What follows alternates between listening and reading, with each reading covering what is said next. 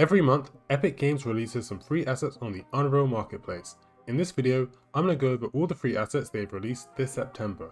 They are only free for this month, so if you see something you like, make sure to claim it. First up, we have the Flexible Combat System.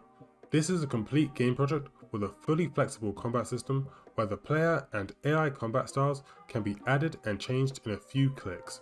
The combat styles it includes are fists, one-handed and shield, two-handed and dual wield. It comes with many other features such as a targeting system, a player stealth system, slow-mo kills, a leveling up system, and much more. Secondly, we have the countryside, windmills, and barns. This comes with a peaceful scene with an extremely modular barn and windmill. The asset contains prefabs as well as several elements such as boards, pillars, door frames, and more. Most of the models have a couple of interchangeable materials for better variation. It comes with a daytime and a nighttime scene.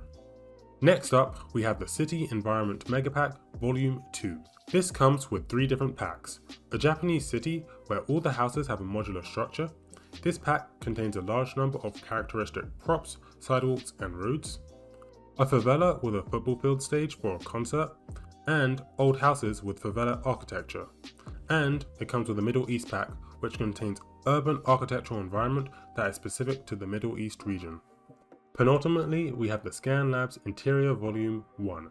This contains a large selection of low poly models optimized for best looks and high performance.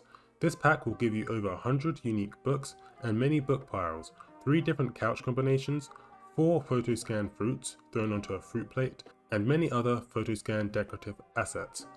A wall system is also included which will enrich your interior setup.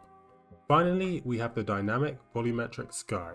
This is a simplified and optimized fully dynamic sky system with volumetric clouds, dynamic weather system, day and night cycle, and time of day. So, those are all the free assets this month. Are you going to claim any of them? That's all for this video. If you enjoyed, like and subscribe, and I'll see you guys next time. Bye!